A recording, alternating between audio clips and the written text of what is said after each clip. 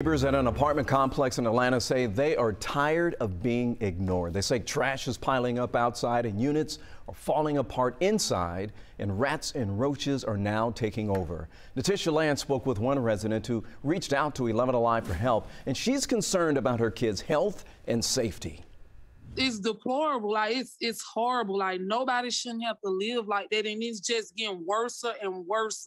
Larisha Shaw has lived at the Forest Cove Apartments in Southwest Atlanta since March. She moved in with her kids, she says, with promises of renovations and upgrades to the apartment complex. Nearly a year later, she says that promise has been broken as conditions have deteriorated. The complex is Section 8 project based housing. It is owned by Global Ministries and managed by Ohio based The Millennia Company. Late last week, Shaw and other tenants wrote a demand letter to the management company, local leaders, and Georgia senators. So far, they have not heard back. We can't even cook or have a hot meal you know, because the rats are, you know, nesting in the stove. And when you turn on the stove, you smell the rat you smell the, the rat pee and the rat feces. Trash is also piling up outside. Unfortunately, the filthy conditions are not new. In 2018, Atlanta police say they responded to 197 code enforcement violations over four months. They ranged from interior and exterior structural damage to junk, trash, and debris.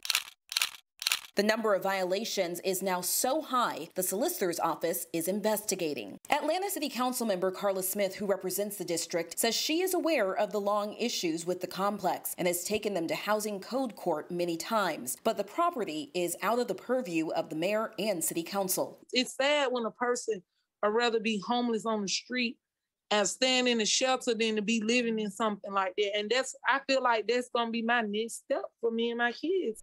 All right, so in a statement to 11 Alive, the Millennia Company says that it is working to purchase and rehabilitate that property. As far as all the trash around, they say that dumpsters at the complex are emptied at least four times a week.